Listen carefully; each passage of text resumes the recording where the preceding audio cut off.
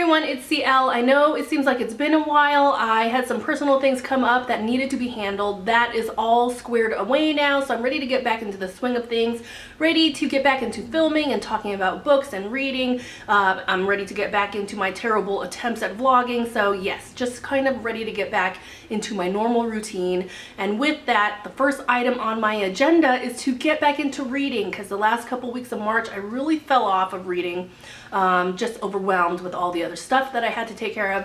But for April, I want to go ahead and share with you all my TBR, a really quick TBR to kind of just kick off this new month and to get back into my normal routine. So in April, I am reading a book for a buddy read and I'm going to be reading In the Country by Mia Alvar.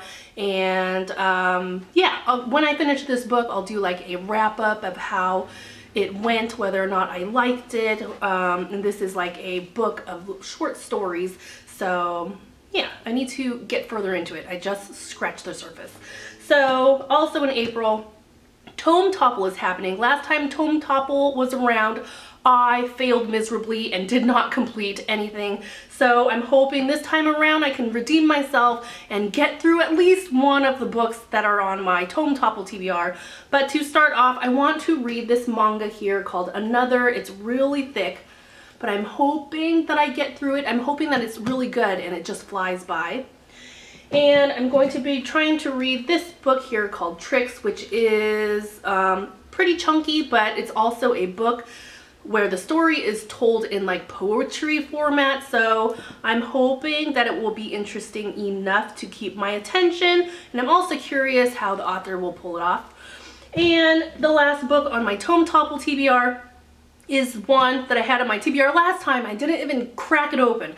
And that is Department 19. It's a book about vampires. And I'm hoping that I'll get through it. This Tome Topple, uh, we have two weeks, so I'm hoping that I can make some headway with my TBR.